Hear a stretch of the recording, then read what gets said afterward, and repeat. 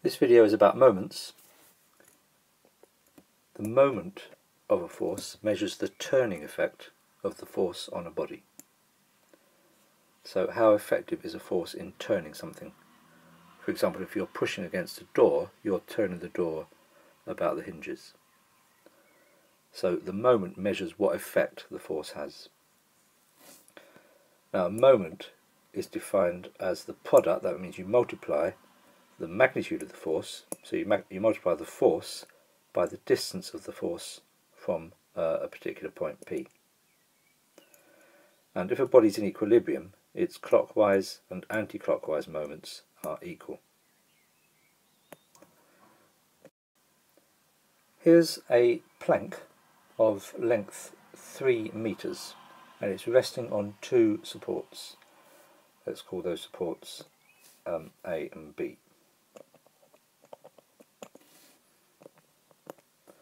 What forces are acting here?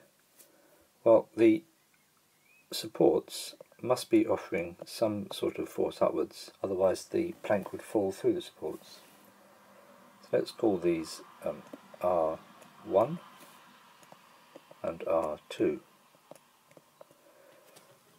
The plank has a weight and if it's a uniform plank it means that the weight acts from the middle point on the plank and the weight of this plank uh, we're told is 20 newtons. Let's mark some distances. Let's call that naught. It's 3 meters long this plank so let's call this point is 1.5 and apparently this point is 2. Obviously this is reading from a question that you can't actually see, but the, all this information is given to you. Now, let's equate the vertical forces. This plank is in equilibrium, so R1 plus R2 equals 20. Now let's take moments about A.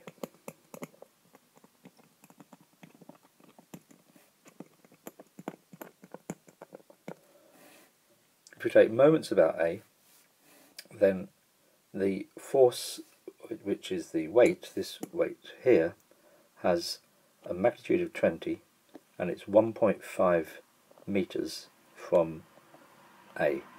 So this point, this uh, weight has a moment of 20 times 1.5.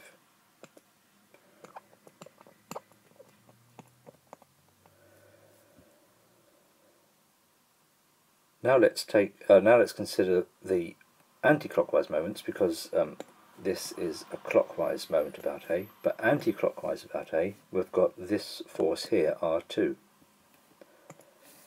because the clockwise moments are equal to the anti-clockwise moments, this is equal to R2 times 2, because the moment is the force multiplied by the distance.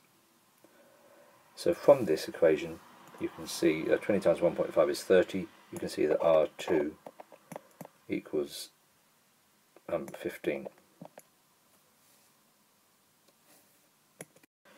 From the first equation here, the equation that we had here, let's call it 1, we can see that 1 now means that R1 equals 5. Now one thing you may be wondering is how did you know to take moments about A? And I didn't, I just chose that.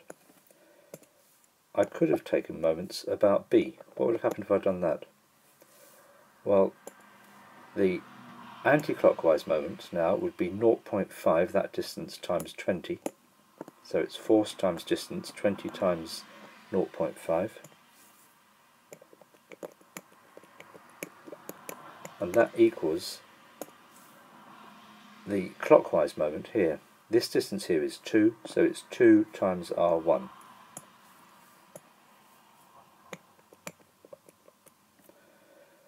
now 20 times 0.5 is 10, 2 times r1 is 10, so from that we can get r1 equals 5. So this is a good check, um, but there's no need to do it in two places to find out the answers, we could have, uh, we just got that from here. One final thing to consider is when we took moments about A here, why didn't we include the force R1?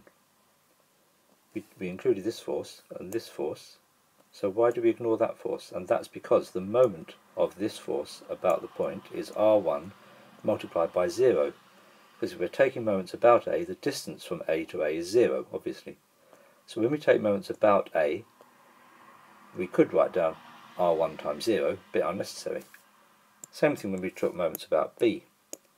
We didn't include R2 because the distance of B from itself is 0.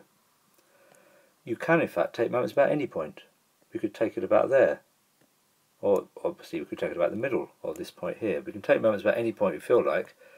Taking it taking moments about a point where you've got an unknown force simplifies your working.